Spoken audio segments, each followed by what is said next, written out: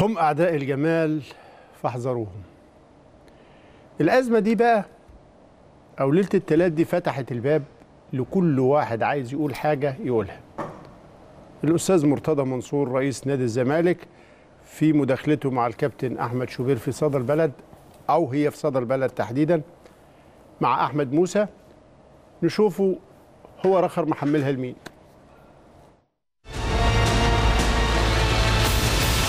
مرتضى منصور. مساء الخير يا فندم. نادي الزمالك هيعمل إيه في ماتش مبارياته القادمة خوفا من تكرار ما جرى آه، امبارح في مباراة الأهلي؟ مساء الخير يا أستاذ أحمد اولا أنا هنا مش بتكلم بصفة رئيس نادي الزمالك أنا صفتي مواطن مصري. آه، ما قاله السيد شريف فؤاد هو أنا من الأسف الشديد هو متصور انه متحدث رسمي باسم رئاسة الجمهورية دايما يقول كلام للأسف الشديد آه، لا يغني ولا يسمن. لأن اللي بيقوله ده كلام مش مظبوط وإنه اجتمع وقال يا فندم ما حدش دخل إلا بمزاج مجلس الإدارة. وأنت لما سألته ليه المجلس ما انسحبش آه، قال لك المشكلة كانت تتفاقم. أنا لما جيش بلدي اتشتم من المجرمين الصيع الألتراس بتوع الزمالك في برج العرب في ملعب الجيش قلعت جزمتي في وشهم كلهم وللأسف في أيام الانتخابات الأخ أحمد سليمان عميد أحمد سليمان قال لك ده بتاع ده قلع الجزمة. كنت قلع الجزمة اللي شتموا الجيش والشرطة. آه، أحمد إحنا عندنا مشكلة كبيرة جدا جدا. الطبطبة الطبطبة. اولا النشيد اللي اتقال ده السافل ده ده ما اتألفش في ساعتها. ده ناس قعدوا وكتبوا وعارفين بيقولوا إيه وبيعملوا إيه. ده رقم واحد. رقم اتنين دول مش مش خمسة ولا عشرة ولا خمستاشر زي ما البعض آه، للأسف يعني بيصور لا ده مدرج كامل. حضرتك لما تجيب هات الماتش هتلاقي مكتوب الترس بالمقلوب ومكتوبة باللون الأصفر بتاع رابعة هاتها. لو تقدر تجيبها لي دلوقتي وتشيل اسمي والكلام ده مكتاني في الماتش. الترس مكتوب الترس مقلوب مقلوبة يعني هو ضد البلد. بالأصفر يعني إحنا رابعة. تمام؟ اللي حصل دي ده مهزلة. وانت احمد يا أستاذ أحمد عارف إن اللي اتصدى للالترس بتاع الزمالك وقطع ديله وراسه مرتضى منصور. تمام؟ وتحملت. ضرب رصاص حي ومية نار وما خو- وخفتش وكملت. آه الصورة أهي. اهي اتفضل. بالأصفر يا باشا. اللي هي بتاعت مين بقى؟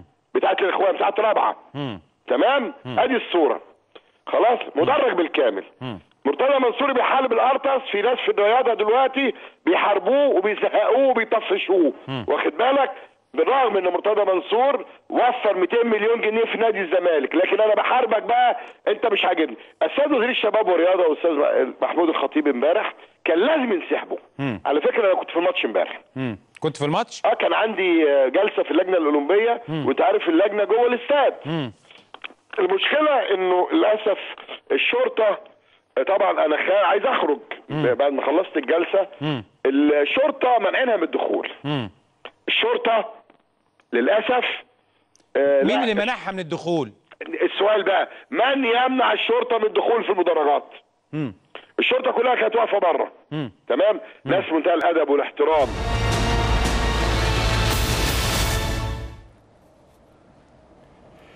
طيب هنا في ثلاث أربع نقاط مهمين عشان هو كل واحد هيركب على هذا الحدث بطريقته وبمعرفته وبمصلحته. خلينا نبقى صراحة شوية.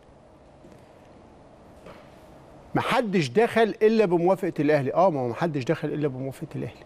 الأهلي عشان كده بايع التذاكر من خلال system بس مفيش حد دخل عليه block إنه ممنوع يدخل. بداية. ثانيا هو هل المعاملة غير الكده الأهلي فشل فيها والزمالك نجح فيها؟ ما الزمالك راح له ضحايا كتير جدا من الشباب دول في مأساة الدفاع الجوي. ما كانتش المعالجة سليمة بالتأكيد. هي المشكلة كبيرة واحدة.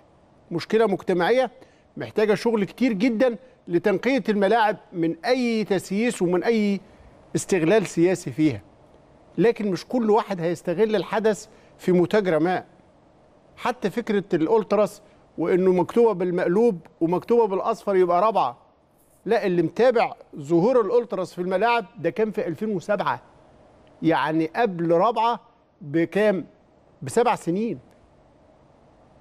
فبالتالي توظيف الحدث في اتجاه تاني ده كلام مش بتاعه مش وقته مش مناسبته. آه له ظرف وله رغبة وله مخرج مفهومة.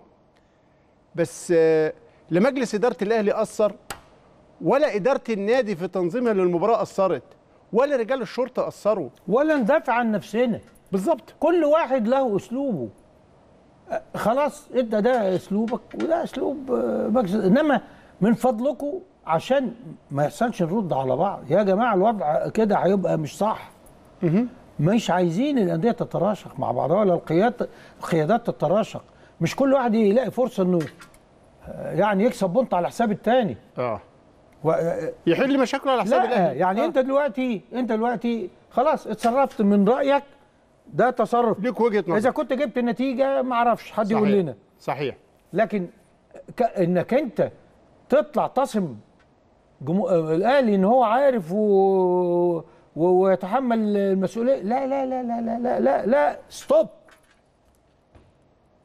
stop أهلي هو معقل الوطنيه اوعى تصدق ومش محتاجة يافطة. لا الأهلي معقل الوطنيه وقياداته فاهمين كويس قوي تاريخه وحريصين عليه. وعندما العبث الإعلامي المخترق أراد أن يغير هذه الثقافة ويعبث في التقاليد والقيم والتاريخ الجمعيه العمومية الأهلي هي اللي تصدت له. ستوب ما كانش اعتراضا على فلان ولا إنجازاته لما كان اعتراضا على على. فلسفته. لما آه. قال يعني إيه قيم وتقاليد؟ أعتقد إن هي دي كانت الجملة الفارقة لأن دعمت ال- التوجه اللي إحنا كنا بنقوله إحنا خايفين على الأهلي من كذا. النهارده الأيام بتفرز هذه المخاوف كانت على حق. إحنا بنقول للناس والكينونه كل إنسان ينشغل بناديه وربنا يوفق الأستاذ مرتضى في قيادة نادي الزمالك. نادي الزمالك ويخرج بيه من الأزمات وربنا يوفقه الماتش الجاي إنه يحافظ على النظام. وده المطلوب. ده المطلوب. آه أرواح كلها. ولما يعمل كده هنقول له برافو. آه. لكن لو حصل غير كده مش هيبقى لنا دعوة بيه. طبعا طبعا. هو ده ده اللي أنا عايز أقوله. ما إحناش في خلاف مع بعض. لكن مش مش مش هنستثمر ظروف بعض. مش واحد بقى نائب الرئيس يطلع يقول لك آه، إدارة الأزمة بتاعت سعيد والشحات و... هذا آه، آه، سعيد و... وفتحي. وفتحي. هذا كلام مش ما ينفعش. وبعدين الزج يبقى سمينه كتر خيركم. قعدتونا جنبكم. متشكرين قوي. أنا دلوقتي ها اللي بيتصدى لي رئيس النادي وبيتصدى لي آه، رئيس رئيس النادي. فيما لم أفعله. يعني بيصدوا لي أنا ما عملتش. أنا بقول لك أنت عامل مشاكل. يا أستاذ إبراهيم بيتصدوا لي فيما لم أفعله. فيما لم أفعله. أنا اللي أفعله شغل في نادية. لسه, ونا- لسه هتفعله صح؟ ونادية هو اللي يقيمني. لسه هتفعله؟ استنى بس خليني أتكلم جد بقى. يعني ناديه هو اللي يقيمني. لكن مش ال- الحد في الكلام مش هو اللي هيقيمنا. ما حدش بيقول لك مشي المدرب مشي الإدارة. لا ولا نجرؤ عايزين نبقى فعلا في مجال رياضي آه نتكاتف محترم، محترم. نتكاتف فيه للخير وكل واحد يترك الآخر وشأنه في إدارة ناديه. اعمل اللي انت عايزه اعمل لك كده. خلاص. لكن الاهلي بيعمل إيه؟ لا ستوب من فضلك بلاش والنبي كلمة إن الأهلي الأهلي ومجلس إدارة الأهلي لا. كل واحد يشيل شيء وإحنا ده اللي خلينا نرد. كل واحد يشيل هم يعني انت شفت شفتوا بقى أيها المتسببون في هذه الفوضى. عملتوا إيه في النادي الأهلي؟ خليت الناس تقول عليه إيه؟ ده مش يقولوا مش يقولوا كده بس. ده كمان